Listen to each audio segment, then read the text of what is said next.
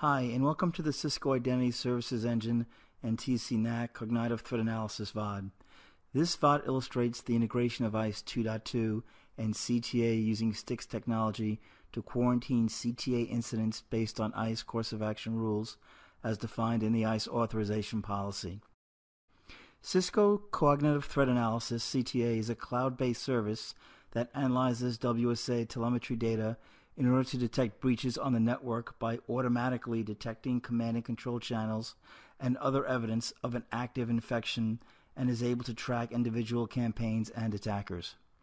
The Cisco Web Security Appliance, WSA, is a web based threat protection solution and sends the telemetry data to the CTA account for behavior analysis.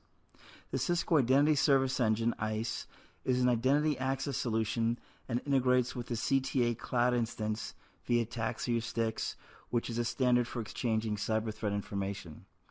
ISE receives these CTA incidents and is able to take ANC adaptive network control mitigation actions on the endpoint by issuing course of action authorization policies. In this example, an end user downloads some adware, CTA analyzes the incident from the WSA, and deems this as a potentially unwanted application. ISE receives this incident in TAXII STIX format and quarantines the endpoint by assigning a security group tag to it. Here, a user runs a piece of malware on their system. It's from a script file. This downloads files from rp.comocolor.com. The Cognitive Threat Analysis dashboard provides a global view of the incidents, confirmed malware threats, and device configurations throughout the organization. This screen displays a health status risk of 4. This is the overall potential risk of the detected malware. Higher numbers, 7 to 9, are generally reserved for malware such as ransomware that have a greater harm potential, while lower numbers could include unwanted applications, botnets performing click fraud operations, adware, or Tor applications. As we drill into the endpoint 192.168.11, we see the activity of the malware connecting to the domain. Here we see more activity, the URL for downloading the malware, and being run from a curl script on the endpoint. Let's go back to the dashboard and select malicious content distribution. This view provides details on the incident detected across the organization, such as the infected users, the first date seen, and the duration of the attack. This helps identify the spread of malware throughout the organization. Let's get back to the main dashboard. Let's select Confirmed. Here we see a description of the threat, adware install core, and a confidence rating of 100%. This confidence rating refers to how certain the system is that this incident belongs to the assigned category. The global statistics of the threat represent behavior similarity across the whole customer base. Under infection history, we see the number of users that are exhibiting malicious behavior and malicious web requests. Under Global Intelligence AMP Threat Grid, a lookup is made to Cisco AMP Threat Grid to get context of other files that utilize the same method of attack. This report gives confidence as which files are likely to be found on the system and provides insight into what the attack may do.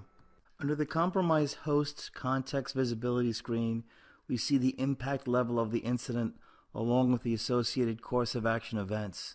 These course of action events, monitoring, internal blocking, and eradication, are defined as ISE authorization condition rules and are used in an ISE authorization policy for quarantining the endpoint or limiting network access. Also, under threats, we receive the incident possibly unwanted application. Under threat severity, we see the impact level of discouraging, and then we also see the course of action policy as well. The ISE authorization policy defines the course of action that is taken when a CTA incident occurs. Note the course of action condition rules. These are ORed together because the incident is tied directly to the course of action event, and this policy serves as a bucket to quarantine all CTA incidents. Please note that the EPS session quarantine condition rule has no value in this use case. The goal of this policy was to assign a security group tag of quarantine system regardless of how the endpoint was quarantined. Under Radius Live Logs, we see the quarantined endpoints.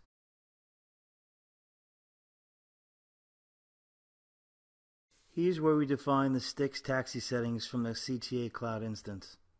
In the CTA adapter configuration, set the impact qualification setting to insignificant so ISE can attain all the CTA incidents. ISE also contains a TCNAC threat summary report.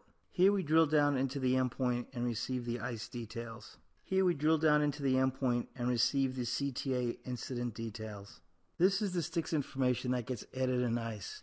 In this example, CTA ISE2 has already been defined in our ISE instance. The username and password will automatically be generated in CTA when adding the STIX account. The WSA is added as a device account, and the WSA logs are uploaded every 10 minutes to the CTA Cloud instance for analysis.